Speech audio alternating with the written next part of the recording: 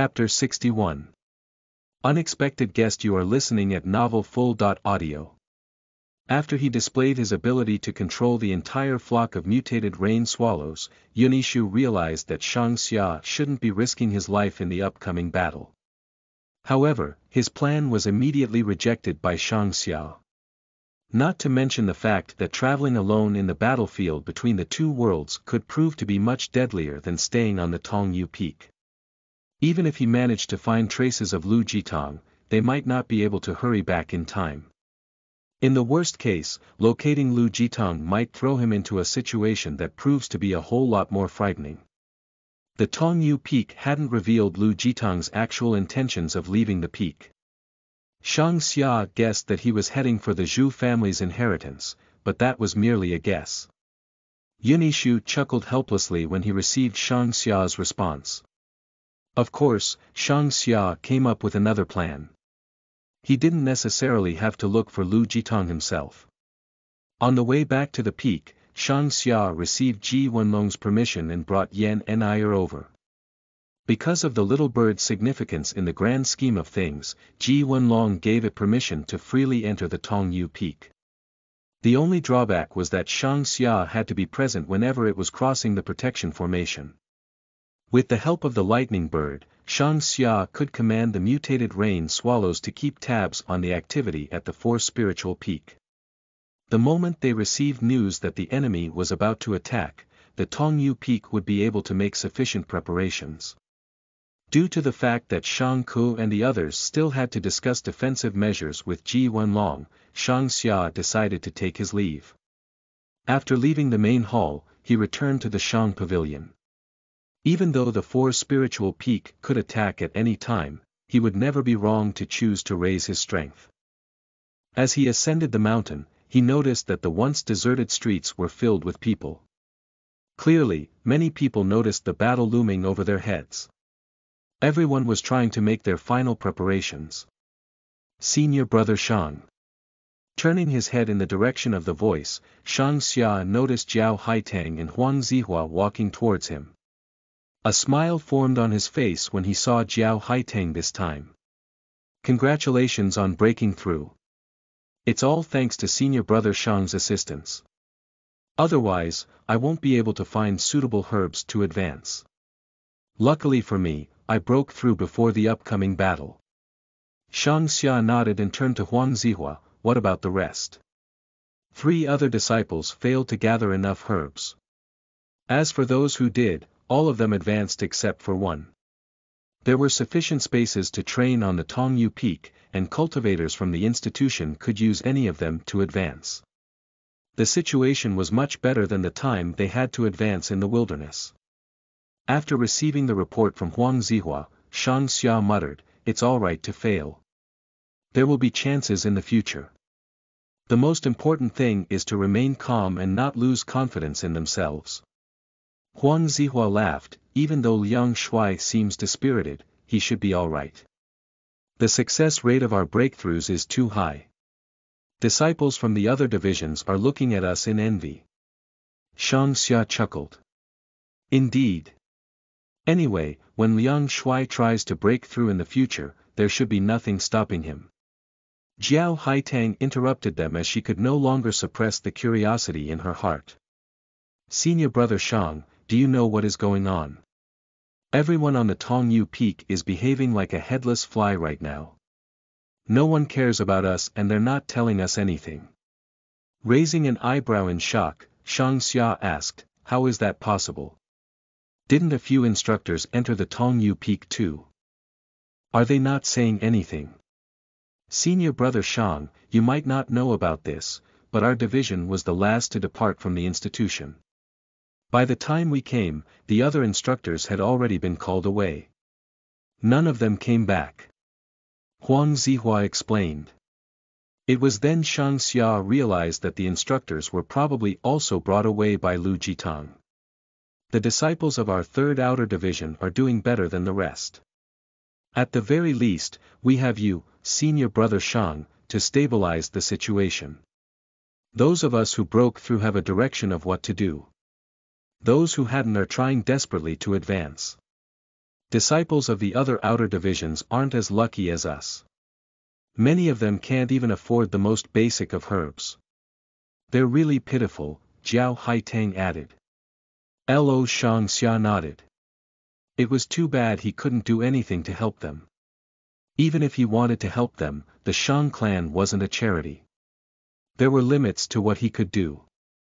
However, a haughty smile appeared on Huang Zihua's face and he continued speaking, Senior Brother Shang, you might not know this, but our fellow disciples are the target of envy right now. Everyone looks at us differently when we walk along the streets. Jiao Haitang slapped his arm when she saw the stupid look on his face. Many fellow disciples in the outer division hope to form a connection with you. However, we rejected them all. We know that the prices of herbs on the Tongyu Peak have reached a new high. Your Shang clan helped us a bunch by giving us some of them at a low price. We can't possibly trouble you even more. Shang Xia laughed, we're fellow disciples and we should help each other. Moreover, teacher Sun requested me to take her place and it's my duty to help you out. Laughter soon filled the air as they continued to chat a little. Jiao Haitang could feel that Shang Xia was a little busy, and she tactfully excused herself. There's one last thing senior brother Shang needs to know. Even though the Contribution Division and Protection Division didn't confiscate the items we have, they sent people to warn us not to reveal anything that happened throughout our journey. Is there something else behind it? Shang Xia thought about it for a moment and chuckled, nope. Just follow whatever they tell you to do. Jiao Haitang nodded, but she sank into thought. Shang Xia seemed to have thought of something and he reminded them, oh right, all of you should check out the scripture depository after advancing. The inheritances and secret manuals there might not be comparable to that in the institution, but they are extremely helpful. Don't miss the chance to raise your strength. After speaking, he hurried back to the Shang pavilion. Huang Zihua looked at Jiao Haitang who was stuck to her spot and waved his hand in front of her eyes. Let's go. What are you thinking about? I'm thinking about the warning we received, what's the problem with that? Didn't senior brother Shang tell us to follow their instructions? Huang Zihua frowned. Rolling her eyes at him, Jiao Haitang snapped, it's just that we might not be qualified enough to know what the problem is. Hee, I have no idea what you just said, Huang Zihua sniggered in response. Turning around in a huff, she decided to leave. As soon as Shang Xia returned to the Shang pavilion, he was dragged to the highest floor by Shang Quan. He was greeted with the sight of an unexpected guest. Aunt, why are you here? Shang Xia nearly yelled out loud when he saw her. However, he quickly suppressed his voice. What are you doing here? Shouldn't you be back at the clan taking charge of the situation? Shang Xia might sound rude, but there was an unmistakable sense of concern in his voice. Shang Shi giggled softly when she heard what he said. Hee hee, little brat, at least you have a conscience. Shang Xia scratched the back of his head and he realized that Shang Shi wouldn't enter the battlefield between two worlds if there wasn't something important. He also thought about how Shang Quan dragged him over without a word and he asked, Aunt, did you come here on a secret mission? Who else came with you? Shang Quan exchanged a gaze with Shang Shi and a grin appeared on her face.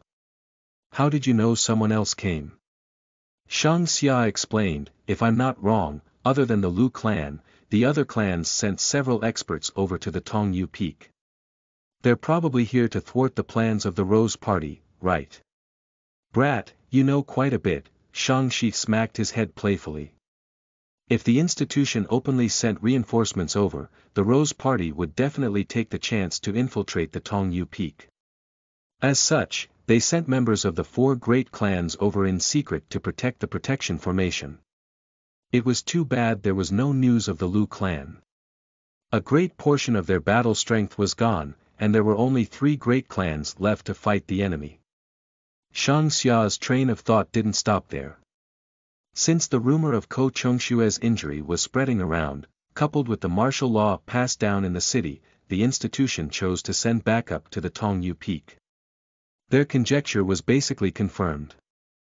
The Rose Party probably found another way into the battlefield between two worlds, and they would use the chance to destroy the Tongyu institution's hard work and accumulation in the past 20 years. Of course, the news provided by Yen Sua helped. The Rose Party's main focus was on the Zhu family's inheritance, and they wouldn't join in the Four Spiritual Peaks offensive. It was too bad they couldn't send the news back to the institution in time. Chapter 62 Screaming all around you are listening at novel full.audio. On the third level of the Shang Pavilion, Shang Xia circulated the triple mystery polarity art and cultivated for three whole days before stopping. Compared to the time he first started, the process became much smoother. After completing his cultivation session, the inner qi in his body became a little stronger and the yin-yang diagram in his dantian grew more solid. Visible improvement wasn't something that could be seen all the time. It was only possible previously as he was consolidating his foundations after breaking through. The stronger he became, the less obvious the improvements would become. All of a sudden, a bold thought entered his mind. He didn't waste any time and started testing it out immediately as the yin-yang essence chi in his body started to transform. Half the yin-yang diagram started to turn increasingly solid and excitement filled Shang Xia's heart. He focused completely on the yin-yang diagram and it became even more corporeal. Slowly releasing his breath, the inner chi in his dantian returned to normal. Shang Xia was afraid that his yin-yang essence chi would cause other people to suspect him due to its high purity, but from the looks of it, he had a way to deal with the problem. As long as he willed it, he could make one type of chi appear stronger than the other. As such, he could easily hide the extent of his cultivation. He could pretend that he only had the strength at the small completion stage of the martial extremity realm he could avoid a lot of suspicion about his insane cultivation speed that way. Of course, hiding the yin-yang diagram would be for the best. He didn't wish to reveal anything about his original world. Concentrating on the yin-yang diagram for the last time, Shang Xia noticed that there was a lot of remnant heaven and earth chi left from the origin tide. Even though some of them would transform into his own chi when cultivating, he needed to train in some type of special technique in order to use them up completely. As such, he decided that it was time to start on the river sword policy. Because of the incoming battle, raising his strength was necessary. When he finally left cultivation, he had no idea how long had passed. That was one of the reasons the battlefield between the two worlds was so chaotic. There wasn't an actual way to tell the time from the rising and setting of the sun. The moment he opened his eyes, Shang Xia saw that his once organized room was in a mess. Locking his gaze onto the culprit, Shang Xia glared at Yan Enir who was sitting on a box. The moment he laid eyes on her, a gasp left his lips. If he wasn't mistaken, he saw something that resembled an eggshell in the box. Weren't they supposed to be his spoils of war after killing the three cultivators from the wind swallow race? Oh shit. Don't tell me she ate all three of them. Shang Xia knew that creatures like the mutated rain swallow were extremely hostile to the eggs of other birds. From the looks of it, the cotton padding that was scattered throughout the room came from inside the box. Reaching over to grab Yan Enir, Shang Xia growled, alright, be good, let me see what's inside. I won't blame you if anything happens. If you ate them, so be it. He might be feeling a sense of heartache, but he couldn't do a thing if she ate them. Chirp chirp. Yan Enir seemed to be extremely unwilling to move from her spot. However, she wasn't Shang Xia's opponent and could only scoot over to the side. When he saw all three eggs intact, Shang Xia heaved a sigh of relief. It seemed as though the little bird wasn't planning on killing three unborn babies. When Shang Xia was about to turn away, he saw Yan Enir resting her body on the other side of the case. Her body trembled unsteadily for a second and a trace of red emerged. Ha! Shang Xia found it a little weird and he grabbed Yan Enir by the body. One. Two. Three. Four. Why were there four eggs? He definitely counted them in the past and there were only three of them. The fourth egg had some sort of golden specks on it. There was no way an egg would appear out of thin air, right? Shang Xia looked suspiciously at the fourth egg before turning to Yan En'er. Is that your egg? Shang Xia asked. Chirp, chirp. Well, that seemed to be the only explanation. Shang Xia didn't care how displeased Yan En'er would be as he lightly tapped the fourth egg. He felt a trace of familiar energy coming from it. He could feel traces of the lightning bird and traces of the lightning origin that he would bathe the birds in from time to time. Alright, it seemed as though he had debunked the mystery. When he was in seclusion, Yan En'er probably had to find a place to lay her egg. Since she didn't dare to interrupt him, she could only try to look for a nest of her own.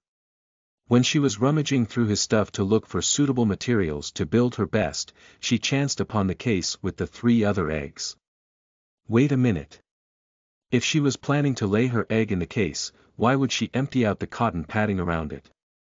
What in the world was left to support the eggs?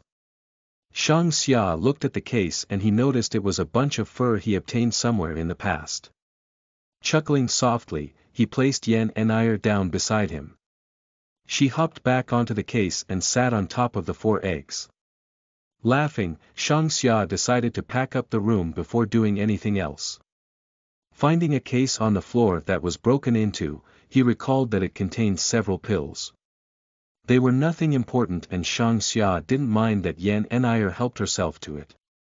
As for the bottle that held the drop of blood, it was sturdy enough that it wasn't broken. When he finally left his room, Shang Xia ordered an attendant to bring over some thin bamboo strips. He wanted to make a nest for Yan En'er before transferring the eggs over.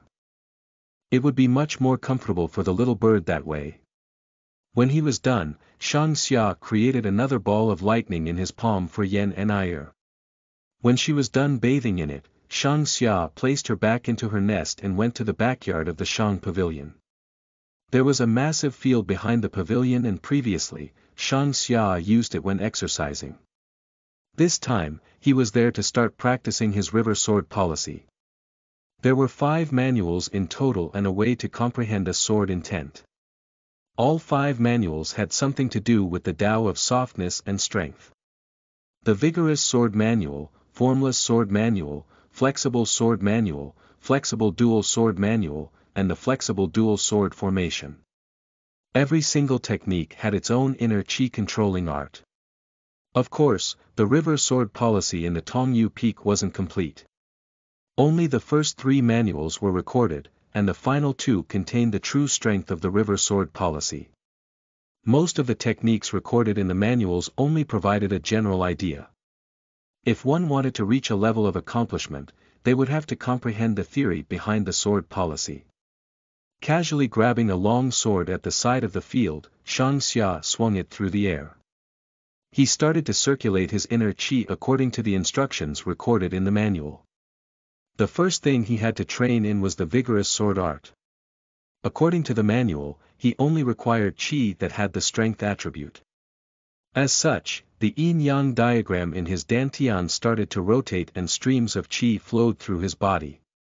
The sword in his arm rose and fell according to the tempo of the qi traveling through his body and his training began.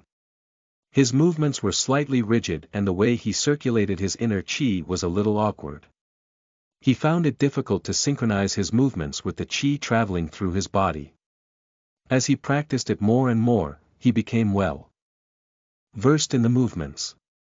The inner chi in his body started to synchronize with his actions and the strength of the vigorous sword art started to show itself. When he was increasing his proficiency in the third move, a sharp scream came from Shang Xia's room and interrupted his training process. Ha! How dare you waste resources like this, dot. Chapter 63 Wasting Heaven's Resources you are listening at Novel novelfull.audio. Ha! The sharp scream came from Shang-Shi, and Shang-Xia tripped over himself as he tossed the sword in his hand to the side and ran back up the pavilion. When he arrived, Shang-Ku, Shang-Quan, and Yan-Qi were already present. They wanted to barge into the room when Shang-Shi's enraged voice rang through the air. You little brat. How dare you waste precious resources? Shang Xia heaved a sigh of relief after noticing that nothing was wrong. Shang Quan and Yan Qi gasped in shock while Shang Ku shook his head helplessly. It seemed as though there was no hiding Shang Xia's secret anymore. Yan and I seemed to be in a state of extreme fright when they entered. Shang Shi was holding the nest in her hand and the little bird was chirping desperately at it. Shang Shi couldn't be bothered with the little bird as she glared at Shang Xia who just entered the room. Forcing a smile, Shang Xia asked, Aunt, what? What is going on? You. Do you not know how precious the rain swallow fur is? How dare you make it into a nest? Shang Shi snapped. Shang Ku moved quickly as he approached Shang Shi's side. He looked at the ball of fur in the nest and his eyes widened in shock. Shang Quan walked over and his lips trembled uncontrollably. They thought her screams had something to do with the appearance of the mutated rain swallow but from the looks of it, it was something way more important.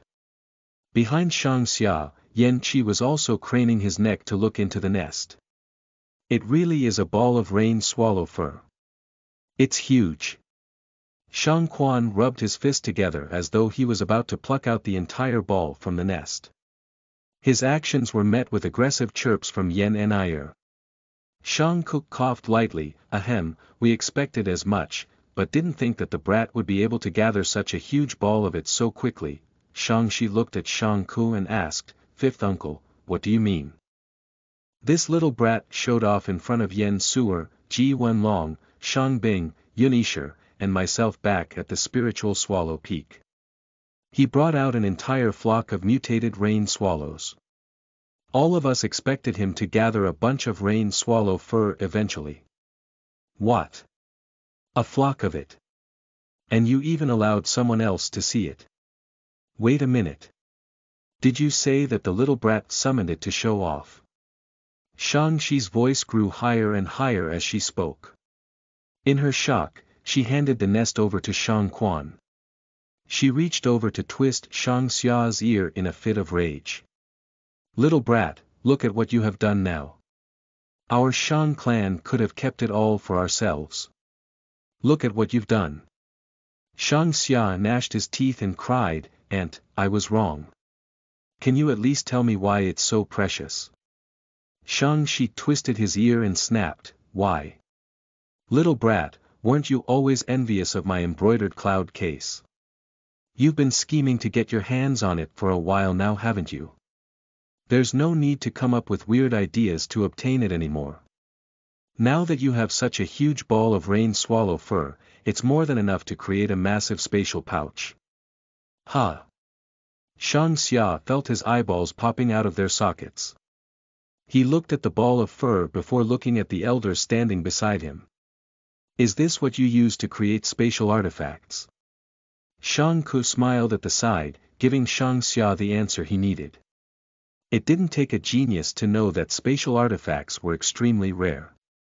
As one of the four great clans, the Shang clan only had three embroidered cloud cases when they pooled everyone's resources together. That was also the reason why Shang Xia had lusted for Shang Shi's embroidered cloud case. It was too bad she never gave him a chance to get his hands on it. The family had five graded weapons in total and Shang Shi had the authority to let Shang Xia take away two of them to flaunt his wealth in the institution. However, she refused to allow him to get close to the embroidered cloud case. When Shang Xia saw the look on Shang Shi's face, he turned to look at Yan Enir slowly. He didn't know if he should ask his fifth grandpa or someone else, but he eventually decided to get Shang Quan to enlighten him. Uncle Shang, is the rain swallow fur really required to create the embroidered cloud case? What did she mean by a spatial pouch? Shang Quan looked at Shang Shi and saw her turning her face away in a huff and he chuckled, spatial artifacts are split into different tiers. Rain swallow fur is the most important ingredient when creating them, Shang Quan didn't answer Shang Xia's question directly. Instead, he talked about how precious the treasure was before adding, the embroidered cloud case can be split into different grades according to how much space they contain. They are usually 1, 2, or 3 cubic feet large. That's the limit of an embroidered cloud case. Shang Quan sucked in a long breath before continuing. Shang Shi's case is 3 cubic feet large, and it's the largest storage item in our family. How much rain swallow fur is needed to make that? Shang Xia asked. Shang Quan waved his hand to dismiss Shang Xia's impatience and he continued, if nothing goes wrong, five maces of rain swallow fur is required to create an embroidered cloud case one cubic feet large. One tail of it is required to make an embroidered cloud case two cubic feet large. Two tails of it are required to make one three cubic feet large. Shang Xia looked at the ball of fur in the nest and saw that it was three tails at the very least.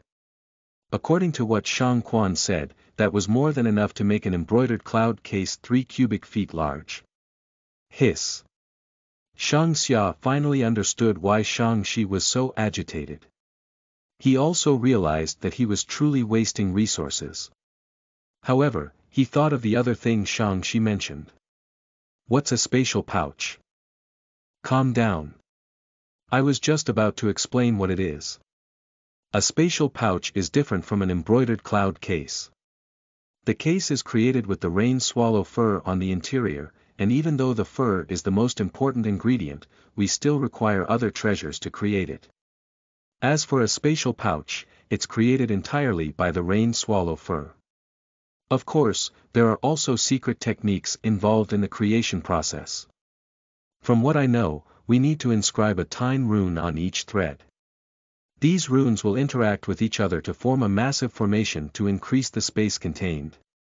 Seeing the look of confusion on Shang Xia's face, Shang Quan continued, there's no need to be surprised. That's just the outline of it. No one knows if the institution has a complete manual on how to craft one. Even if they do, the craftsmen in the hundred profession pavilion might not be able to do it. Looking at Shang Xia's disappointed expression, Shang Quan continued, even though it's difficult to create a spatial pouch, every single one of them contains 5 cubic feet of space. It said that spatial pouches at the peak level would be able to store up to 10 cubic feet. An embroidered cloud case is nothing more than a toy in front of it. Gulping, Shang Xia asked, how much rain swallow fur do we need to make one? Three tails. Shang Quan chuckled mischievously. That was the exact amount Shang Xia had. However, from what they said, creating a single spatial pouch was a difficult task. If they failed. When Shang Xia was deciding if he should risk it all to request for a spatial pouch, he sighed softly. How long does it take to obtain three tails of fur from a flock of mutated rain swallows? Everyone else was shocked by Shang Xia's sudden question. Shang Quan eventually replied, Did you really find this on a cultivator of the martial realm? Shang Xia finally realized how weird it was, but he nodded in affirmation. Yeah. Once again, he recounted what happened when he obtained the ball of rain swallow fur. He also spoke about the other items he recovered. Shang Quan shook his head slowly, even if they were hunted down by our patrol squads, items of such importance would be held by an expert at the martial intent realm or higher. Unless the others didn't know of its existence. That's the only possible explanation. We can confirm that the group of cultivators attacked a nest of mutated rain swallows. The fur should have been obtained by the cultivator secretly when rummaging through the lightning bird stash. He might or might not know what it was, but he chose to keep it for himself. Shang Shi deduced. Everyone nodded and seemed to agree with Shang Shi's guess. What do we do now? There isn't an expert capable of creating an embroidered cloud case on the Tongyu Peak, Shang Quan spoke while looking at Shang Xia. Scratching the back of his head, Shang Xia asked uneasily, since I haven't thought of what to do with it, why don't we allow Yan An'er to keep it to incubate her eggs? Chapter 64 Blood Essence Blood Essence Crystal You are listening at novelfull.audio. Wait. Answer my question.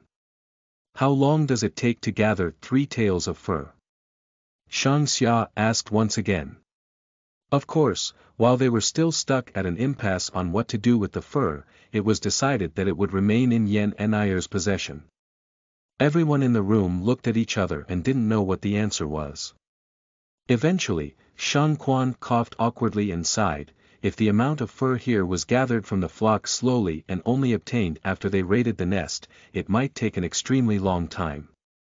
Shang Ku shook his head and added, wait a minute.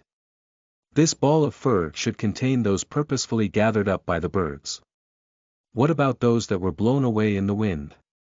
Fifth uncle, you mean, Shang Quan muttered.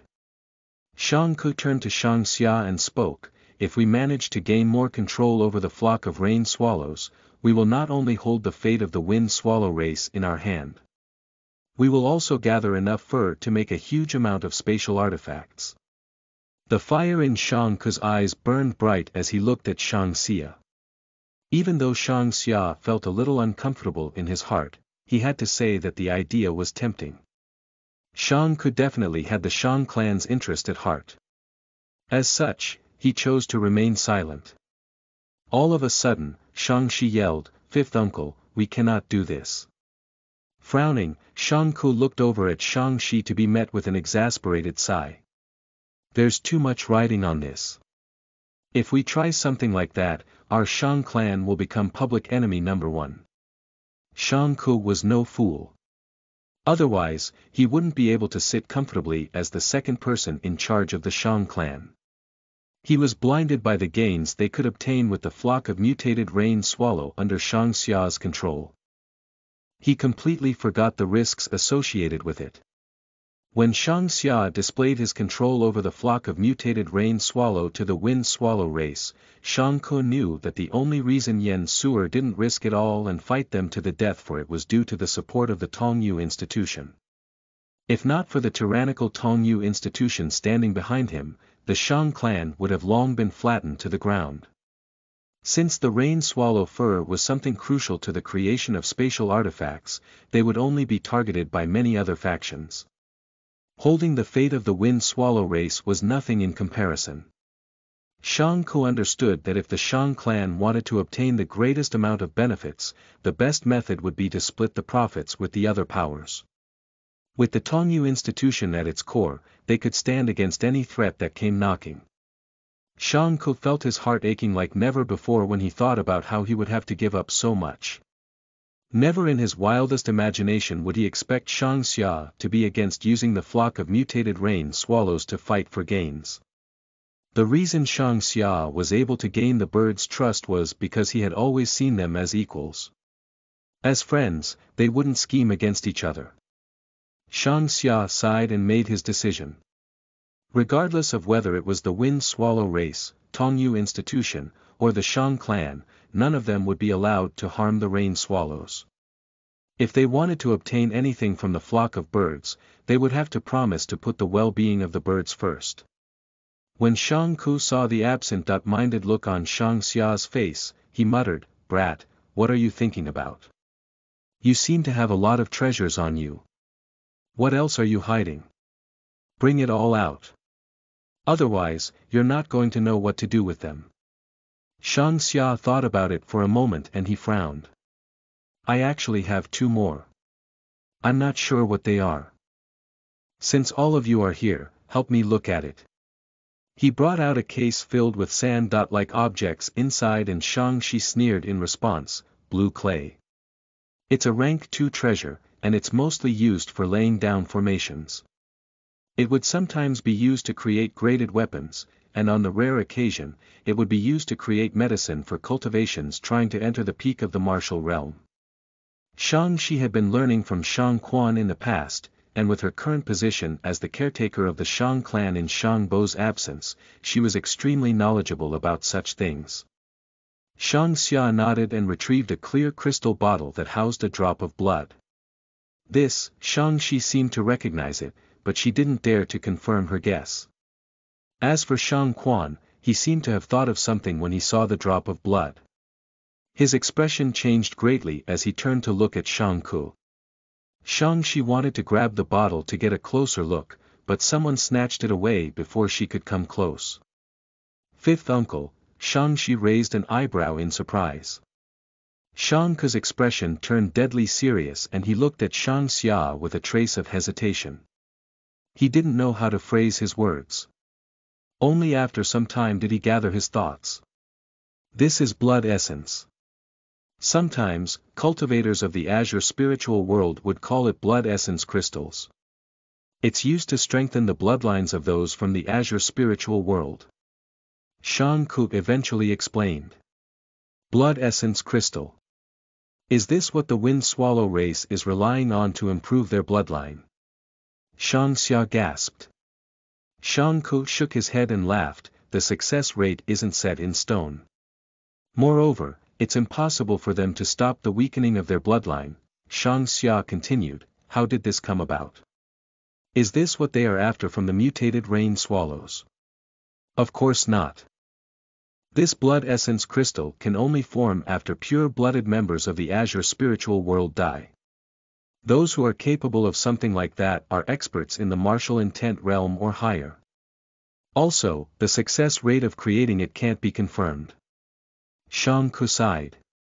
So that's the case, Shang Xia grinned. This treasure might sound valuable, but it doesn't seem too useful to us. In the future, we can trade with the wind swallow race for some good stuff. Shang Xia barely completed his sentence when he saw the serious look on Shang Ku's face. Xiar, I'm afraid we'll have to take this treasure away from you. Our Shang clan will keep it safe. Alright. However, I don't know what you plan to use it for. Fifth Grandpa, why don't you tell me what it can do? Shang Xia chuckled in amusement. Shang Ku smacked Shang Xia's head playfully and chided. You're full of shit. Do you really think that I'll steal your treasures? Anyway, your grandpa Bo told all of us to keep it a secret. I can't exactly reveal what this drop of blood can be used for. Whatever the case, the treasure belongs to you and our clan will have to give you suitable compensation if we take it away. However, you can only wait for the battle to end. The resources we have at our command now are channeled into the war, and I'm unable to take anything out. A mischievous smile formed on Shang Xia's face and he tooted, there's no need to rush. As long as fifth grandpa doesn't forget about it, that'll be great. Shoo. Damn brat. I'm leaving. Shang Ku muttered before rushing off. However, he seemed to have recalled something and his voice echoed in their ears even after he had left. Right, don't tell anyone about Shier's appearance here. It's absolutely forbidden to tell anyone of her whereabouts. Shang Quan, Yan Qi, and Shang Xia nodded like chickens pecking on rice.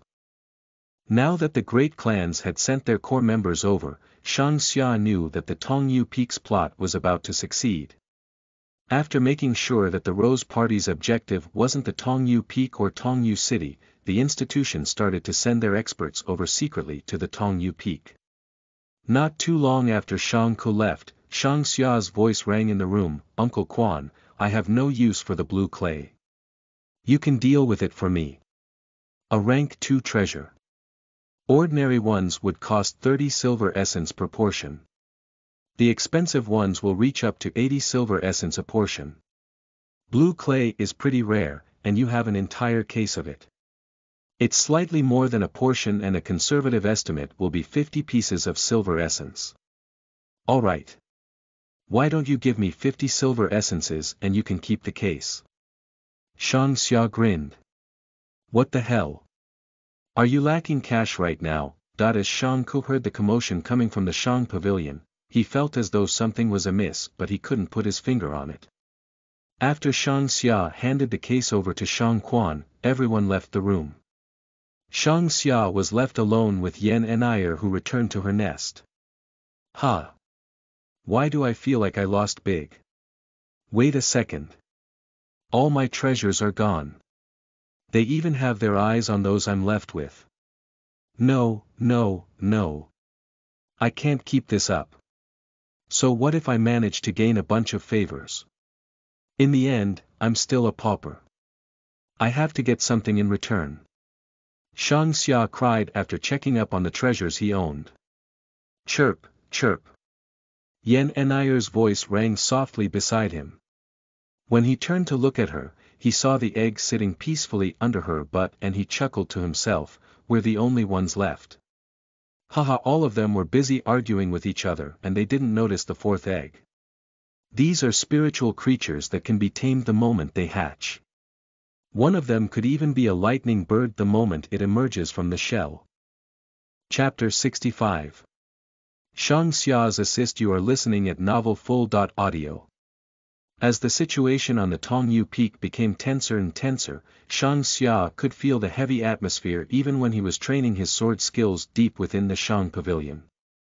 Due to the dwindling resources, the Shang Pavilion closed its doors as carriages full of resources were sent towards fueling the war efforts of the Tongyu Peak. The Shang clan handed over all their usable resources to the Tongyu Peak for better deployment. The Shang clan wasn't the only one. The resources of the other great clans and small powers were handed over to the Tongyu Peak unconditionally. Now that things were at a critical stage, no one could be bothered with their losses anymore.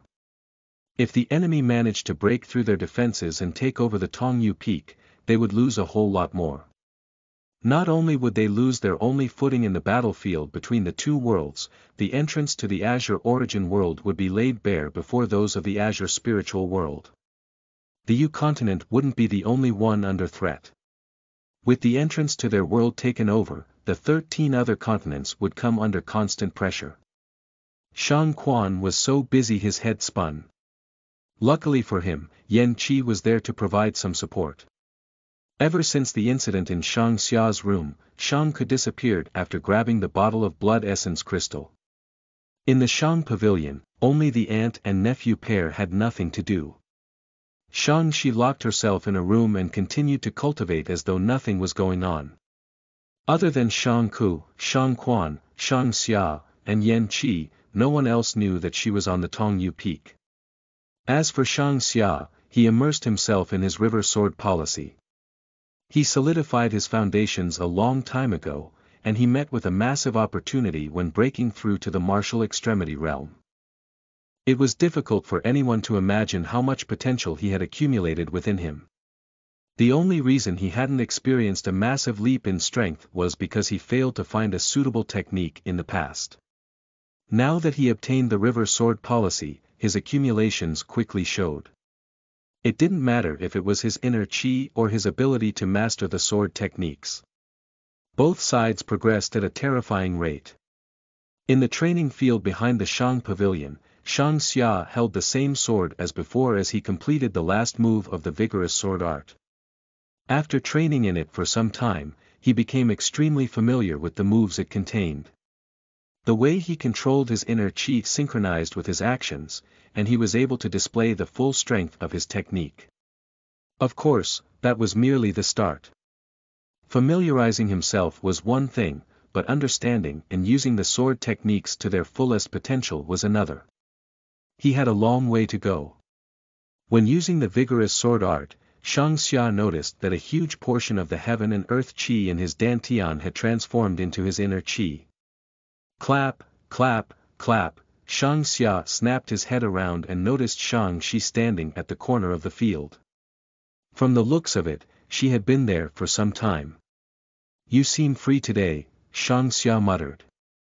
Tossing the sword casually, it clattered while it stabbed straight into the weapons rack at the side.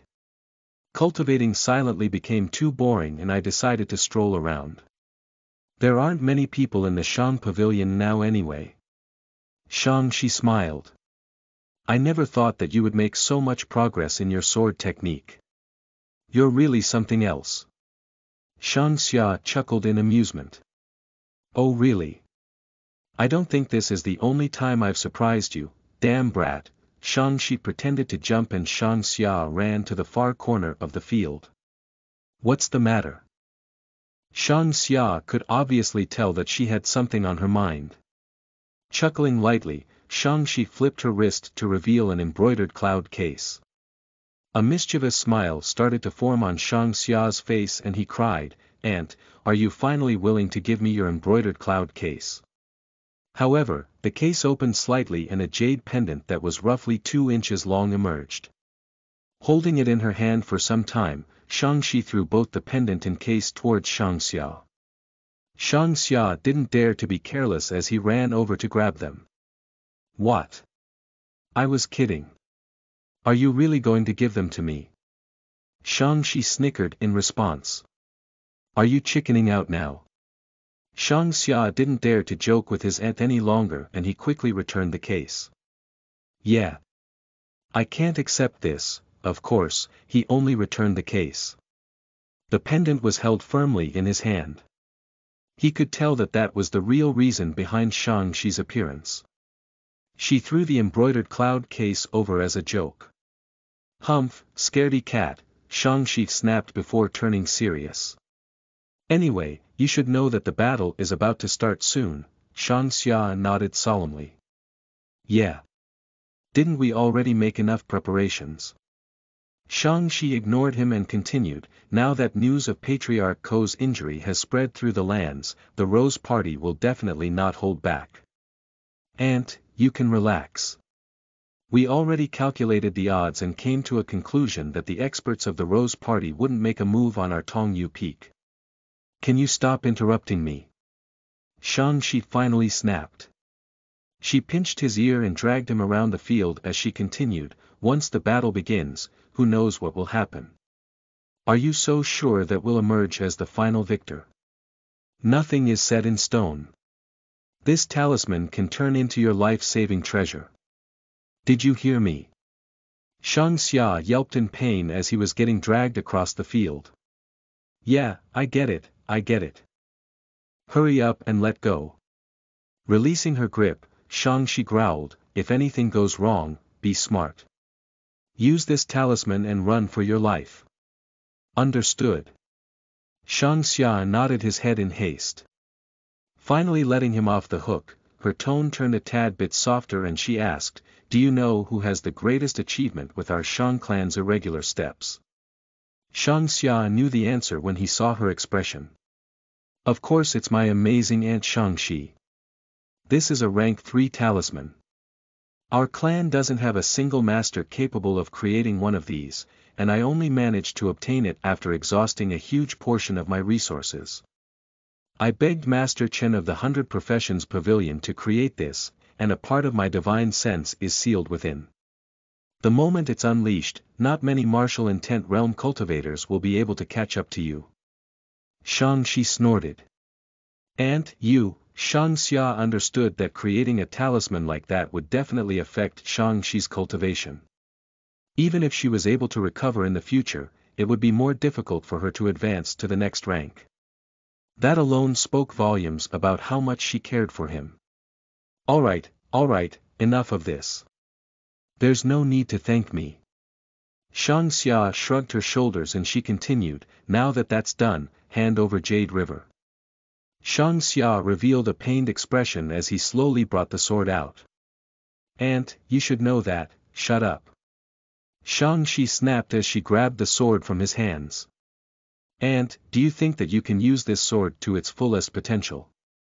Flipping her eyes, she sighed helplessly, if I could, do you think I'll allow you to bring it around and flaunt your wealth? So what if I can't? No matter what, this is a mid-grade weapon. Having one by my side is much better than having nothing, Shang Xia continued, will you take the ivory fan away too? Yeah. We'll have to distribute the best weapons to those who can bring out their strength. I'll give the fan to Yan Qi. Who? Shang Xia cried, stop joking with me. Can seventh uncle really use the ivory fan? Thinking about Yan Qi's tough and buff figure, Shang Xia couldn't imagine how such a brute could use a delicate weapon such as the ivory fan. He lost control of himself and a few chuckles left his lips. What else can we do? Our Shang clan can't bring out any more weapons, Shang Shi sighed. Wait a minute. Who said that we only had these two weapons? Shang Xia frowned. Didn't Uncle Quan tell you? He's so busy that I can't even see his shadow these days. What is he supposed to tell me? Shang Shi asked. Before he could explain, they heard hurried footsteps sounding out from outside the Shang pavilion. Ha! Brother Quan, are you there? A loud voice boomed through the air. Crap. What great timing. Shang Xia said as he went out to welcome the guest. When he turned his head, he realized that Shang Shi was nowhere to be found. Brother Quan. Oh. Little Xia, where's your uncle? Seeing as no one was in the Shang pavilion, the person who arrived went straight to the training field behind and ran into Shang Xia. Recognizing the newcomer, Shang Xia laughed, Uncle Hong, my uncle has been extremely busy the past few days. Are you looking for him because of the weapons? The person who came was the craftsman of the Shang clan, Duan Hong. He was pretty talented when it came to blacksmithing, and he had been nurtured by the Shang clan since a long time ago. They hoped that he could become a rank 3 blacksmith and create graded weapons, but he had been stuck at the peak of the second rank for a long time now. That he was the person Shang Quan entrusted the weapons with. You know. Duan Hong was slightly taken aback. No shit. All the weapons he gave you belong to me. Shang Xia nearly rolled his eyes, but he managed to control himself. Uncle Quan isn't here. You can just hand the weapons over to me. Oh. Alright then. Duan Hong wasn't suspicious at all. Handing the weapons over to Shang Xia was the same as giving them to Shang Quan. The only thing he cared about was to apply for the treasures to try crafting a graded weapon, but it didn't seem appropriate for him to ask Shang Xia about it. As such, he could only take his leave after handing the weapons over. Unwrapping the three packages in his hand, Shang Shi appeared beside him all of a sudden. She stared at the pair of knives with her eyes glittering. Chapter 66 Blade Intent, Sword Chi You are listening at Novel Full. Audio. Aunt, what do you think of these knives? Shang Xia asked. Shang Shi didn't seem to hear him as she played with the knives happily. A dazed look could be seen in her eyes and she stroked the knives gently. Shang Xia couldn't help but ask again, Aunt, do you know how to use them? Shang Shi's hand stopped on the handle of the knives and she shot a cold glare towards Shang Xia. As the hair on his body stood on end, he saw two rays of light shooting towards him. He dodged on instinct. Blade intent. Shang Xia yelled and he looked at his aunt. You actually managed to comprehend blade intent. For a cultivator who reached a certain accomplishment in the way of the blade, they would comprehend blade intent. When using their techniques, they could attack formlessly through the form of chi. When they improved and reached the next level, they could tear through space itself with their blade light. That was called blade chi. Coupled with a martial intent that specialized in the blade, a cultivator could summon their blade intent at any time. That was what Shang Shi used previously. Even though she had only entered the martial intent realm and remained at the small completion stage, her comprehension of blade intent put her ahead of cultivators at the same level. Eddie et as long as she was using a weapon with a sharp edge, she could utilize her blade intent. Shang Xia laughed bitterly in his heart when he thought about it. Aunt, haven't you thought of making weapons that would suit yourself? Shang Xia asked cautiously. However, Shang Shi's eyes didn't leave the twin knives when she replied, of course I have. It's just that the weapons I made can't compare to graded weapons. Then. What do you think about this pair of knives? Do you think the clan will accept it if I trade it for the rights to own Jade River? Shang Shi finally looked at Shang Xia when he raised the question. A smile formed on her lips. You brat. Looks like you have everything planned out. Shang Xia chuckled softly in response. Relax. From now on, Jade River is yours. Shang Shi declared all of a sudden. Shang Xia didn't expect her to make the decision on the spot, and he seemed to be stuck in a state of disbelief. Don't you need to ask the elders of our clan? Shang Shi lowered her head to look at the knives again and snorted in contempt, no one will dare to reject the notion. But. Jade River is a mid-grade weapon. Even though the pair of knives can be compared to a mid-grade weapon, it's still, Shang Xia continued. It was too bad Shang Shi wasn't listening to him at all as she kept the pair of knives in her embroidered cloud case. Seeing as they were safe, she turned to Shang Xia and explained, from my point of view, it's more than worth it to trade a treasure I can't even use three-tenth of the power of one that suits me. Anyone who refuses will be going against me. Humph. Even your grandfather will agree with me on this matter. Shang Xia finally relaxed when he saw how confident she was. He turned to the other weapon in his hand and sighed, and, this is another low-grade weapon called the Origin Light. No. It's now called Formless. Why don't you give this to seventh uncle? This knife belongs to you. You can give it to whoever you want. The clan won't interfere. Shang Shi muttered. After Duan Hong was done with the knife, the insignia of the Hundred Professions Pavilion was scraped away and it now belonged to the Shang clan. As Shang Xia imbued his inner chi into the knife, light started to distort around it and the blade turned blurry. Shang Shi frowned when she saw the uniqueness of the blade. This dagger is a great weapon indeed. It's able to conceal itself and it's much better than any ordinary weapon, she sucked in a cold breath and continued, strictly speaking, a weapon like that isn't suitable for Yan Qi. Of course, it's much better than sending him into battle with a fan. Shang Xia laughed in response, whatever the case, someone might recognize this dagger even after Uncle Hong's customization, Shang Shi rolled her eyes at him. Are you afraid that someone will recognize it now? Why didn't you think of it sooner? What do you mean? This is a graded weapon. If you were in my shoes, what would you do? Shang Xia pouted. Relax. Since your uncle Quan saw the weapon, he definitely knows what to do with it. How could Shang Shi not see through Shang Xia's intentions?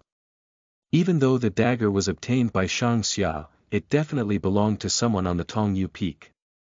From the scarcity of weapons in the Shang clan, one could imagine how important a graded weapon was. The moment news of the dagger was revealed, Shang Xia would be dragged into a major conflict. As such, he needed to borrow the clan's power to keep it. A better way to put it was that Shang Xia wanted to use the Shang clan's power to scare the other party so he could keep the weapon. Of course, Shang Xia knew that the value of the weapon was enough for the clan to shield him from the backlash. Naturally, his actions would definitely piss off some people in the clan. Now that Shang Xia had grown up and entered the cultivation world for real, he would no longer be treated like a kid. Even with Shang Bo's support, Shang Xia needed to form his own support in the Shang clan in order to prevent tongues from wagging. It seemed as though his aunt, Shang Shi, was his greatest ally in the clan. Yan Qi might not belong to the Shang clan, but he had been attending to Shang Xia all the time. His cultivation level was at the limit of the martial extremity realm and he was an important combat figure in the clan. It was especially so for the war that was about to break out. The Shang clan only had half their original fighting power and Yan Qi's importance was further accentuated. It wasn't impossible to bestow the low grade weapon on him. With the ability to hand the ivory fan over to Shang Quan, Shang Xia would gain extremely strong allies in the Shang clan. His grandfather, Shang Bo, and his fifth grandfather, Shang Ku, might not be able to handle things in the later generations as the forefathers of the clan, but those around him could. I haven't seen seventh uncle in a while now. I heard that he's been following Uncle Quan around. I'm afraid that I won't be able to leave the pavilion for some time as I have to enter seclusion again and I hope that Aunt She can hand the dagger over to him. Shang Xia said while passing the dagger over. A trace of hesitation could be seen on Shang Shi's face as she muttered, no. He hasn't been seen around Shang Quan for some time now. Did he run into any trouble? What did Uncle Quan say? Shang Xia jumped in fright. That's the weird part. Shang Quan knows where he is, but he refuses to tell me anything. There's something fishy about all this. If fifth uncle is around I could look for him, Shang Xia frowned. Does this have something to do with fifth grandpa? Shang Shi raised an eyebrow slowly and she muttered, it's not something you have to worry about right now. Concentrate on your cultivation. Retrieving the weapons, Shang Shi left in a haste. She was an expert in the martial intent realm. Training in the training field was of no use to her. Before she left, she didn't forget to remind Shang Xia to pass the ivory fan to Shang Quan when he saw him. A large grin appeared on Shang Xia's face after Shang Shi had left. Now, the mid-grade weapon finally belonged to him. Putting some of his inner chi into the delicate jade river sword, it became taut in an instant. The first move of the vigorous sword art, torrential advance. His sword stabbed forward and it seemed to contain the might of a thousand men. Shang Xia circulated his inner chi and continued to practice his sword art. A soft glow enveloped the tip of the sword. As he went through the moves one by one, he eventually finished all nine moves of the first manual. Every time he completed one move, the glow around his sword grew longer. The sword light turned more and more solid. When he completed the final move, Twisting Matter, a sword light emerged from the delicate jade river sword and sliced the sword he was using previously in two. When the sword chi dissipated, countless weapons on the rack clattered to the ground. Sword chi. That was the first appearance of Sword Chi Shang Xia summoned. He might not have reached a complete understanding of the vigorous sword art, but his improvement was clear as day. The delicate Jade River sword played a role too as it channeled the transformed inner chi in his body into sword chi. Even though the appearance of the sword chi wasn't too helpful in telling him how much his strength increased by, it told him that he was on the right track. In the future, he wouldn't face any obstruction when cultivating the vigorous sword art. It was too bad Shang Xia wasn't content with the results. After recovering, he started to swing his sword again. This time, his moves were completely different from the ones he displayed previously. Chapter 67 Stimulation Talisman You are listening at Novel Full. Audio. As the Tongyu Peak entered full battle preparations, a heavy atmosphere filled the area. Disciples of the Protection Division would leave from time to time to fight cultivators from the Four Spiritual Peak. Tang Yuan had ordered the patrol squads to give up on patrolling the area and they would throw all their fighting force into the skirmish that was going on with the Four Spiritual Peak. As Lu Jitang brought away a huge portion of the fighting strength, the Tongyu Peak fell to a disadvantage against their opponents. Every time the patrol squads returned, there would be casualties. The area they controlled reduced day by day. The Four Spiritual Peak started to encroach on the Tongyu Peak. When the fight grew more and more intense, the Shang Pavilion experienced an unprecedented period of calm. As the vigorous sword art focused on the aspect of strength, Shang Xia focused on transforming his yin-yang essence chi to that of the strength attribute. He discovered that when he used the yin-yang diagram, he would be able to unleash double his strength. Since that was the case, he felt that the opposite would be true too. He could easily transform the chi in his body to possess the softness attribute. No good would come if he kept thinking about it. As such, Shang Xia decided to try it. He transformed the inner chi in his body to possess the softness attribute and he swung the sword around. The technique he was displaying was completely different from those described in the vigorous sword art. He started on the second manual contained in the river sword policy, the formless sword art. Shang Xia's method of cultivation was nothing more than suicide in the eyes of others. One had to achieve balance when they reached the martial extremity realm. They needed to advance carefully as they trained in the two opposing types of qi. Throughout the process, one could easily die if they lost control of their inner qi.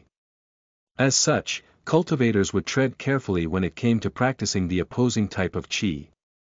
Training both at the same time was something a madman would do. There were even some cultivators who had no choice but to seal off one type of qi, causing them to miss out on several opportunities. Shang Xia's actions were something they would never be able to understand. As he practiced the formless sword art, he realized that it wasn't living up to its name. It didn't make the strikes formless, and neither did it make the sword. In fact, it was more appropriate to call it a flowing sword style. The way his sword moved became irregular, and the difficulty of comprehending the sword art completely was astounding. Every single strike came from an angle one wouldn't expect. The person who trained in the sword art itself would go crazy from trying to master the haphazard sword movements. As the sword technique had high requirements on one's inner chi, Shang Xia contemplated if he should actually start training in it. He had the ability to prevent different types of chi from crashing in his body, but he wasn't confident he could control his chi so intricately that he fulfilled the requirement to utilize the sword art. Luckily for him, the delicate Jade River sword in his hand had a softness attribute of its own and it was the best weapon he could ask for when training in the formless sword art. Previously, his main problem was that the sword still belonged to the Shang clan. It would be taken away when the battle began, but now that he traded it with his aunt, it finally belonged to him. The twin knives were something he obtained alone, and even the clan wouldn't be able to take them away from him. When he saw the river sword policy in the scripture depository, he had already made the decision to trade his treasures for the delicate jade river sword.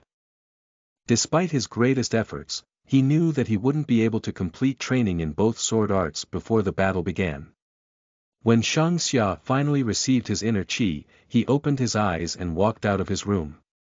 Utter silence filled the upper levels of the Shang pavilion. There would be occasional yells coming from the first floor, but they would quickly disappear. No one came to interrupt Shang Xia's cultivation and in the face of the massive battle, everyone seemed to have forgotten about his existence. Shang Xia chuckled softly. Of course, that wasn't the case. The only reason he could cultivate peacefully was because of the Shang clan's interference.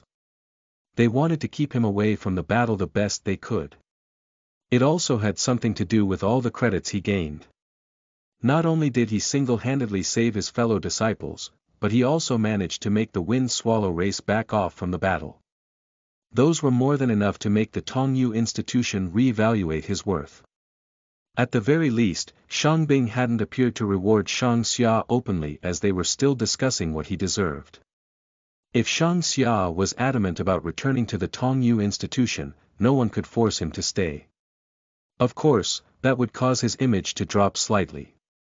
Circulating his inner chi slowly, Shang Xia casually unleashed his Chaos Essence lightning palm as a ball of lightning gathered in his hand. Sending it towards Yan En'er, Shang Xia slowly approached the table in his room and picked up his brush. Dipping it into the ink, he started to draw some lightning runes on the tablets laid before him. He was a talented talisman master and he chose to create as many lighting charms as he could. After all, they were the ones that possessed the most destructive power. Since he obtained the thorny brush and the box of jade pendants, Shang Xia could feel that he was closing on becoming a rank 2 talisman master. After selling away some of the treasures, he got Shang Quan to purchase some rank 2 treasures to create talismans. When Shang Quan learned of his intentions, he encouraged Shang Xia to create more rank 1 talismans to consolidate his knowledge and deepen his understanding before trying to make anything better. Shang Xia was in high spirits when Shang Quan brought out a ton of helpful ingredients and items. Shang Quan promised Shang Xia to split the profits after they sold away the talismans Shang Xia created. They were going to split the profits 80.20, with 20% going to the Shang clan. Since Shang Xia broke through, the amount of inner chi he wielded was much more than before. He finally understood the importance of getting good resources.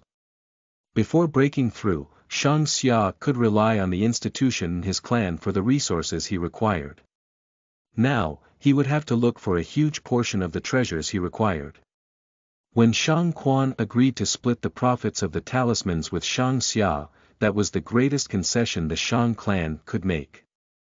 Just as he was starting to create the talismans, Shang Xia noticed that there wasn't a single board of lightning wood that was more than a hundred years old. There were only several talisman papers and plaques made from uncommon materials. Even though he could be considered a rank 1 talisman master, he didn't know how to create any other talismans other than the lightning charms. The lightning charms he produced previously had close to 40% of the power in his Chaos Essence lightning palm, but the amount of resources required to make one was terrifying. There was no way they could give him all the resources he needed. Adding on the fact that his success rate for crafting those wasn't too high to begin with, the Shang clan would never allow him to try to mass produce them. Strictly speaking, Shang Xia hadn't made a single cent from any talismans he made. That also allowed him to realize that his talent for creating talismans might not be as high as he thought. If he tried to create rank 2 talismans, he would be wasting a huge bunch of resources for nothing. He could only focus on creating rank 1 talismans with the items before him. Very quickly, he realized that creating lightning attributed talismans was something he was better at. He was capable of creating more than lightning charms. After several tries, he managed to create something new and he looked at the talisman on the table with a smirk on his face. It was a different type of talisman entirely, and it was called the stimulation talisman. It was something used to save a cultivator's life at a critical moment. Chapter 68 Invitation You are listening at novelfull.audio. As the thorny brush flew across the talisman papers on the table, a powerful wave of lightning chi filled the room. His stimulation talisman was complete. He used close to 12 hours to complete the single talisman, and that didn't include the preparation time. With this, our Shang Pavilion should finally be able to earn some money, right? Especially when times are so desperate, Shang Xia inspected the talisman in his hand as he heaved a sigh of relief. I can make a little more preparations next time before I start and get into my peak mental state. I should be able to take one less break during the process and that should lower the chances of failure significantly. Shang Xia muttered to himself. Also, I seem a little unfamiliar when creating the talisman and that resulted in my inner chi becoming unsteady. It increased the consumption of my inner chi and after getting used to it, I should be able to further reduce the number of breaks I need. I'll estimate that I'll need 4 breaks throughout the entire crafting process. Three of them are absolutely necessary and I'll need to think of a way to get rid of the fourth. Of course, getting rid of two breaks already increased the chances of success by a lot. Shang Xia estimated. The stimulation talisman was one of the more complex ones among the rank 1 talisman. When he re-evaluated his talent earlier, he thought that he might not be as gifted as he was. Now that he successfully created the stimulation talisman, his confidence returned. When he made the lightning charm in the past, he used boards of lightning wood that were hundreds of years old. Now, he only used some talisman paper to create such a complex creation. Shang Xia looked at the ingredients on the table when he was interrupted by a report that someone was there to look for him. A trace of doubt formed in his mind. However, he still invited the guest up. Junior brother Shang, it's been a long time. How have you been? A familiar voice came from outside the door. Gasping in shock, a look of pleasant surprise appeared on his face as he welcomed the guest. Senior brother Tian, long time no see. Oh, senior brother Jin is here too. The two who came were precisely Tian Mengzi and Jin Guanchao. However, they seemed to have donned a disguise before coming over to look for Shang Xia. Inviting them both into the room, Shang Xia spoke, I heard that senior brothers were injured during the battle. I wanted to pay you a visit, but I failed to locate your residences. I'm truly sorry. The two of them looked at each other and laughed, of course you won't be able to find it. There are some people who are trying to hide our condition. A light flashed in Shang Xia's eyes and he muttered, so, you're here today because, is that a stimulation talisman? A gasp interrupted Shang Xia before he could complete his sentence. Shang Xia realized that Jin Guanchao had appeared beside his table without anyone noticing and he was looking at the talisman he just completed. Shang Xia noticed that the aura around Jin Guanchao had grown stronger since they last met. Suppressing his surprise, Shang Xia smiled, I was lucky enough to create one right before you came. Tian Mengzi headed over and after gesturing to Shang Xia, he held the talisman in his hand and examined it carefully. Placing it down properly, he exclaimed, Junior brother Shang, you surprise us every time. The stimulation talisman is one of the hardest ones to create. From the looks of it, you should be close to a rank 2 talisman master. Jin Guanchao nodded at the side. This life-saving talisman is worth more than some rank 2 talismans, senior brothers, you're exaggerating. It's not that easy to become a rank 2 talisman master. Shang Xia chuckled. The use of a stimulation talisman was like a defibrillator in Shang Xia's original world. It could restart someone's heart after they died. However, its use was much more exaggerated in the world of cultivation. As long as a cultivator's heart was still beating, the stimulation talisman would ensure that their heart continued to pump for a quarter of an hour. That should be more than enough for a cultivator to bring themselves back from the brink of death. Even if they were to die after the time was up, they would be able to handle a lot of things right before they died. As such, the stimulation talisman had another name. It was also called the talisman of last breath. Shang Xia changed the topic quickly. Why did you come all the way here to look for me? Tian Mengzi nodded and sighed, we guessed that you would know what is going on at the moment. Not many people know that the two of us were injured. Now, those who know think that we're still recovering from our injuries. Shang Xia turned serious. Do you have any instructions for me now that you're here? Tian Mengzi waved his hand casually. We wouldn't dare. We only hope that junior brother Shang can help us with something small. Shang Xia didn't agree immediately. This. What exactly is the favor you need? Junior brother Jin and I received a secret mission from the institution. The two of us are to protect the bridges that connect the main peak to the other mountain peaks from any surprise attacks the four spiritual peak might launch. Tian Mengzi muttered in a low voice. There were six auxiliary peaks around the Tongyu Peak, and they were called Mingxiu, Kaiyuan, Qiling, Luohui, Yushi, and Pinshin respectively. The six of them were connected to the main peak with a long bridge, and they were connected to neighboring peaks the same way. If anyone were to look at the Tongyu Peak from above, they would see that the peaks formed a massive hexagon. With the main peak at the center, every other peak would form a giant triangle with the bridges connected to the main peak. That was the core of the protection formation surrounding the Tongyu Peak. If the bridges were to fall, every peak would lose its support.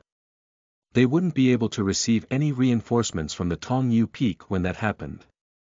If so, the power of the protection formation would be reduced by two thirds. Destruction of the bridges. Shang Xia revealed a puzzled expression. Is the four spiritual peak going to sabotage them with the help of a spy? Shang Xia knew much more than the two of them. He knew that the destruction of the bridges wouldn't be done by those of the four spiritual peak. Instead, the Rose Party would be the ones behind it. Shang Xia could also guess that the appearance of the elites of the three great clans had something to do with that. Tian Mengzi shook his head and sighed, I have no idea. However, all we need to do is to ensure that the bridges remain intact. Anyone who tries to sabotage it will be deemed as a traitor punishable by death. Shang Xia chuckled. Of course. Do you wish to ask for my help to protect the bridges? Tian Mengzi nodded solemnly. Indeed. The bridge between the main peak and the Mingxiu peak is located close to your Shang pavilion. If any bastard sets their eyes on it, we might not be able to stop them in time. We will have to trouble junior brother Shang to deal with it in case that happens. Of course. It's my duty to do something like that.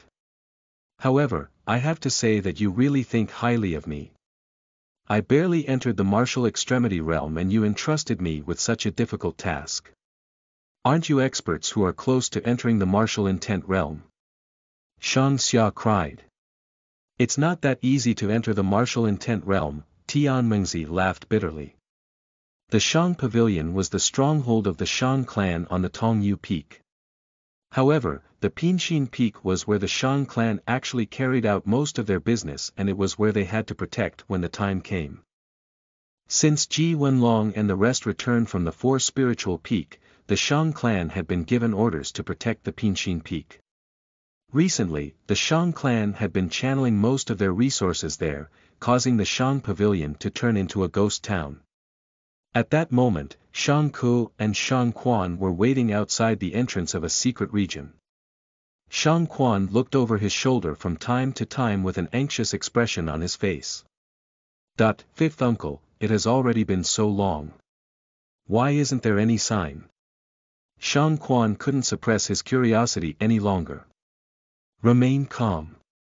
Shang Ku opened his eyes and glared at Shang Quan. You're part of the core of our Shang clan. Why are you always so hasty? If you refuse to change your ways, when will you ever condense your divine sense? Shang Quan sighed and he suppressed the worry in his heart. Fifth uncle, I'm worried that he might make the connection now that he has the blood essence crystal. Humph. Do you really think he's stupid? He has been in our family for more than twenty years. Every one of us sees him as our own, Shang Ku muttered. You're right, Shang Quan whispered softly. All of a sudden, a terrifying wave of chi emerged from the top of the mountain and it charged straight towards the foot. The ground started to quake, and Shang Quan widened his eyes in surprise. This. Bloodline recovery. Don't tell me, enough of your bullshit. Hurry up and suppress the sign with me. Do you want everyone to find out our secret? Shang Ku snapped at him. Chapter 69 Slicing through the moon you are listening at novel full. Audio.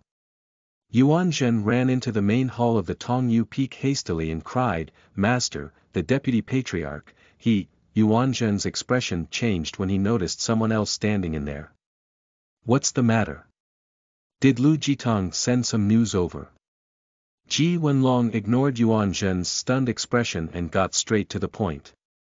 Yuan Zhen looked at the other person in the hall and he slowly took out the report from his sleeves. I received a message earlier and it seems to be from Deputy Patriarch Lu Jitang. He sent it over by a wind pigeon. Ji Wenlong raised his palm slightly and the letter flew over. Reading the contents, a sneer formed on Ji Wenlong's face. Haha old freak, looks like he's trapped somewhere by the Rose Party and he's asking us to send help. He handed the letter over to the other person in the hall and muttered, take a look. The other person in the hall shook his head after reading the letter. Looks like he doesn't care about your attempts to help him. Ji Wenlong's expression sank slightly. The person who came definitely respected him, but the way he spoke was still pretty casual. Waving the letter in his hand, the man continued, requesting for assistance. Humph. He's basically trying to order you to move the entire Tongyu Peak out to help him. There were hints of blame in his voice and even though Ji Wenlong's expression was grave, he didn't say anything in response. Turning to look at Yuan Zhen, Ji Wenlong asked, do we save him? How are we supposed to do that? Ji Wenlong sank into silence again. The other man in the hall continued, what do you think is of more importance? The Tongyu Peak or Deputy Patriarch Lu? Perhaps it's the combination of Deputy Patriarch Lu and the Zhu family's inheritance, seeing as Ji Wenlong was still keeping mum, the man shook the letter in his hand as if to emphasize a point. Look at this. A thousand mile radius around the coral forest. If he really requires assistance, he would have specified a place. How are we supposed to look for him with this vague description? How long will we have to waste? He's clearly afraid that we'll steal his fortune after going over. He probably gave us such a huge area so that we would run into the members of the Rose Party and get into a huge brawl. When both parties are seriously injured, he'll be able to obtain the inheritance and leave unharmed. He might even feel benevolent and save us after he's done, making us owe him a huge favor. Yuan Zhen couldn't hold back any longer and he snapped, that's a little too much, what do you know? The other man roared at him. Anger flashed through Yuan Zhen's face, but seeing as Ji Wenlong had remained silent, he could only suppress his rage. The man looked at Yuan Zhen and chuckled, I have to say. It's been so many years and Lu Jitang's bad habit of scheming against everyone got worse. Alright, enough. No matter what, he's still your teacher. Ji Wenlong growled. We cannot lose the Tongyu Peak. Lu Jitang will have to hold out until the end of the battle. After thinking for some time, Ji Wenlong added, let this be a lesson to him. We'll hope that he manages to hold on for long enough. The other person in the hall tooted, of course he will, even though he wanted to continue, he swallowed his words after Ji Wenlong shot a glare at him. When Yuan Zhen left the hall, all the anger in him had dissipated. Looking at the shadow under his feet, Yuan Zhen sighed, looks like I'll have to focus on my cultivation after this battle. I'm the only head of the protection division at the large completion stage of the martial intent realm. I can't fall behind too much. Wait. Why the hell is my shadow moving without me? Yuan Zhen raised his head to look at the skies, and he saw shadows descending rapidly. After sending Tian Mengzi and Jin Guanchao, Shang Xia wanted to complete the third move of the formless sword art. Perhaps it was because of the technique, Shang Xia felt that his thoughts were in disarray after he finished the third move. Leaving the training field, Shang Xia raised his head to see giant beads of water droplets falling towards the Tongyu peak. The sound of water rushing entered Shang Xia's ears and the sound got louder and louder. As the inner qi in his body started to slowly speed up, Shang Xia could feel that it was starting to run wild. Cultivators other than him would feel their inner qi battering against the insides of their dantian. Of course, Shang Xia was no ordinary cultivator. The yin-yang diagram started to spin and he was jolted awake from the strange trance he had entered. Not good. There's something wrong with the sound. A light flashed in Shang Xia's eyes and he raised his head again only to see rays of light slowly rushing towards the Tongyu peak. Those rays of light smashed against the mountain range and the bridges connecting the peak started to sway violently the protection formation around the Tongyu peak started to counterattack the sudden influx of energy. Even so, the rattling of the bridges didn't stop. Heaven and earth chi slowly scattered all about. Dot when the protection formation finally suppressed the sound waves, a second round came. The power weakened slightly when it passed the protection formation but the remaining power still slammed into the peak. Ah!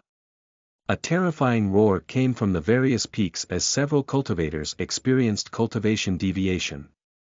Shang Xia could see several disciples around him with the blood drained from their faces as they tried to keep their inner qi under control. However, there were some who were at peace. Those were the ones who had consolidated their foundations and had reached a certain level of cultivation. At the same time, Shang Xia noticed that there was another moon in the skies above the Tongyu peak. It was falling at a terrifying pace, and it was about to crash straight into the Tongyu peak. Enough. A roar came from the top of the main peak and a wave of true chi enveloped the area. It completely destroyed the offensive energy waves coming at them. With a single move, Ji Wenlong shattered the first offensive thrown over by the enemy. However, Shang Xia's attention was drawn away by a knife that was soaring high above the Tongyu peak. It was the second time he had seen the blade and he knew that it was Ji Wenlong's high-grade weapon, the lithe blade. With a single slash, it sliced the moon in half. The scene caught the attention of many cultivators on the Tongyu peak. A shocking scene played out as the blade separated the moon in half. As a burst of light threatened to blind them, the world seemed to lose all sound. Everyone shut their eyes instinctively and when Shang Xia finally opened his eyes again, he saw a giant crater in the air. Deafening blasts came from above. The protection formation around the Tongyu peak caved in completely, and the bridge around the peaks continued to rattle. Eventually, they dissipated the energy that came from above and the crater slowly disappeared. No one knew when, but Ji Wenlong had appeared on top of the Tongyu peak. He held the blade in his hand as he stared into the distance. The moon that had been sliced in half released a pained cry as it flew towards the empty space around the Tongyu peak. Chapter 70 Upper Division Instructor, Lu Qinlan You are listening at novelfull.audio. The cultivators were still enamored by Ji Wenlong's strike, but a massive shockwave was kicked up when the moon crashed into the ground below. Well, it came as a surprise when they didn't feel the shockwave blasting against them. None of them noticed that the protection formation had already recovered after Ji Wenlong sliced the moon in half, and it counteracted the subsequent energy wave. Lang Xiaoyun, Ran Biluo, how dare you run all the way here to cause trouble. Ji Wenlong roared as he left the range of the protection formation alone. Waving the lithe blade in his hand, he shattered whatever remained of the moon and yet another shockwave battered against the protection formation.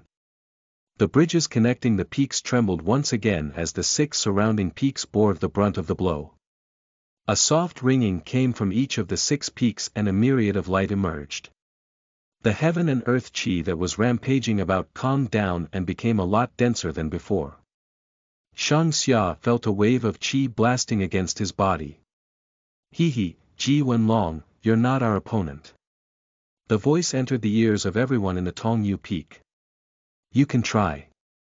Ji Wenlong remained motionless as he stood facing the enemy. Two figures appeared eventually and it was a man and a woman. The man looked pretty skinny and he was clad in gray. There was a treacherous look in his eyes and his movements resembled a wolf.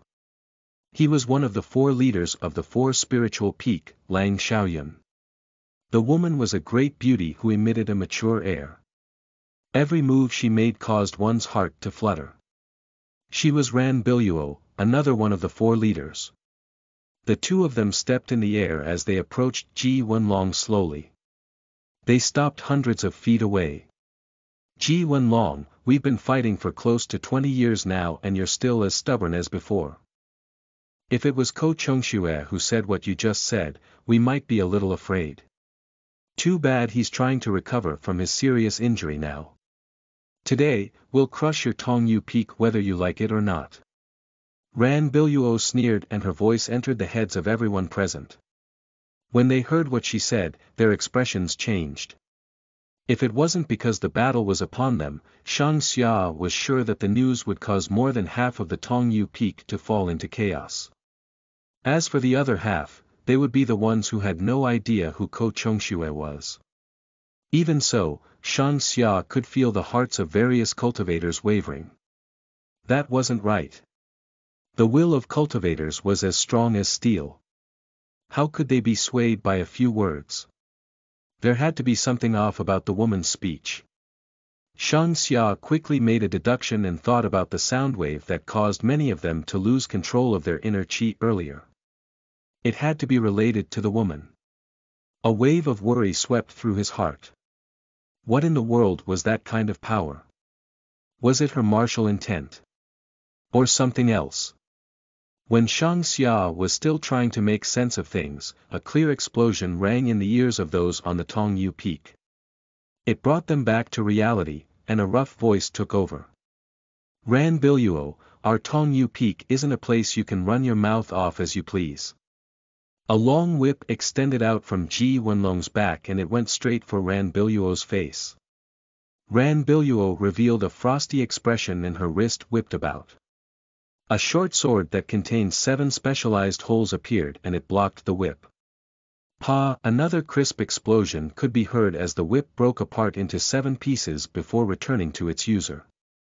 It's you. Ran Biluo might have nullified the attack easily, but her expression sank instantly. Who would have thought that you would enter the battlefield between two worlds, a figure appeared above the Tongyu Peak and approached Ji Wenlong. Instructor of the upper division of the Tongyu Institution, Lu Qinglan. Looks like you already know who she is. The newcomer was a middle-aged female and her appearance was comparable, if not better than Ran Biluo. Unlike Ran Biluo who had a charming air around her, Lu Qinglan emitted a dignified and noble aura. Lu Qinglan. I've heard of you. Lang Xiaoyun snorted in contempt. He was greeted with a soft chuckle from Lu Qinglan. I'm really honored that you heard of me. I hope we can exchange pointers in the future. I'll personally carve my name into your bones so that you won't forget me. Wow, you're really smart. Are you scared that you can't take me on right now? Lang Xiaoyun sneered. Facing the useless exchange, Ji Wenlong lost his patience and growled, why are we wasting time talking to each other? If you want to fight, come at me. If you're planning to run your mouth off, you can scram. The words barely left his lips when his blade chopped at Lang Xiaoyun. Old wolf, let your granddaddy here see if you improved since we last fought. Ji Wenlong yelled as four rays of light emerged from his blade. Perfect timing. Lang Xiaoyun yelled as a silver ring behind his back appeared to defend himself. Looking at the silver ring, one would think of the moon that appeared earlier. His weapon was called the Startling Moon Loop and it was a high dot grade weapon. As it soared into the air, it emitted three different colors. Silver, blue, and gray lights danced around it and it didn't lose out to Ji Wenlong's lithe blade. The blade and loop danced about in mid-air and shockwaves swept across the battlefield. Even though they were hundreds of feet away from the Tongyu peak, the shockwaves caused the protection formation to cave in once more. Fortunately for Ji Wenlong, he started to suppress Lang Xiaoyun with his relentless attacks and he started to push him away from the Tongyu peak. When the two men started their brawl, Ran Biluo and Lu Qinglan glared at each other. Hee hee, little sister of the Lu clan, show me what you got. Ran Biluo laughed as her seven conch sword emitted a strange ringing sound. The weapon she wielded was also a high-grade weapon, and from the looks of it, she wanted to carve out a flower in Lu Qinglan's face. Hee hee, old witch, even if you're not a hundred years old, you should be close to it. Do you really think you qualify to be my older sister? Why don't I call you grandma instead? Lu Qinglan didn't lose in their battle of words. Even though her seven-tendon whip was only a mid-grade weapon, it would accurately slash at Ran Biluo's neck every time she swung it. The attacks of the two women were sinister and ruthless and they exchanged many blows in an instant. However, Ran Biluo's cultivation was slightly higher than Lu Qinglan and it was a matter of time before Lu Qinglan would fall to a disadvantage. As such, Lu Qinglan didn't follow in Ji Wenlong's footsteps to drag the battle away from the Tongyu peak. She wanted to tap on the protection formation when she was no longer able to hold on. Naturally, Ran Biluo was no fool. She saw through Lu Qinglan's intentions instantly.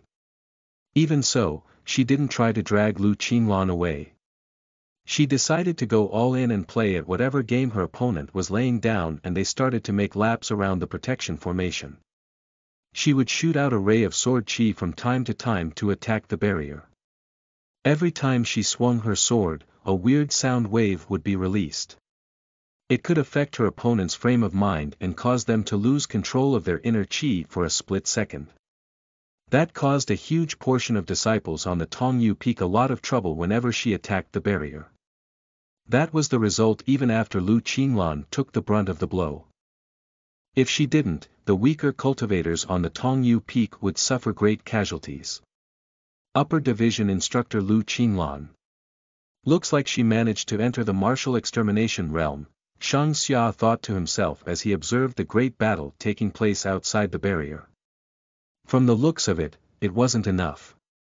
The four spiritual peak definitely had another expert in hiding. When they revealed themselves, who would the Tongyu peak send out? Ji Wenlong's estimate that the Rose Party wouldn't attack the city might be taken seriously by the institution and they sent numerous experts over to the Tongyu peak. However, they couldn't possibly leave the city defenseless.